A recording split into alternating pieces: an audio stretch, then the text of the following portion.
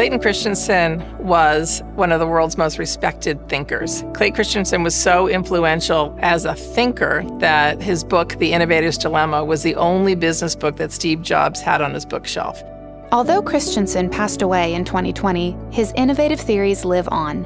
In How Will You Measure Your Life, co author Karen Dillon guides us through some unconventional wisdoms derived from business theories to help us achieve and live a more fulfilling life.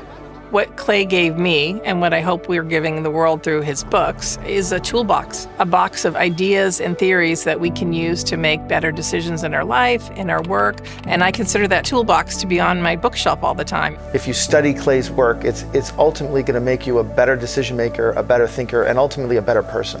I think there was a big need and yearning for folks to be able to apply what they spend often 12, 14, 16 hours a day on and bringing that back to their holistic self. You can make decisions about your own destiny that are unique to yourself. Your impact on your family, your impact on your community, your impact on the world. Often, the things that we work for and hard experiences that teach us things that become important to us are the things that we treasure the most.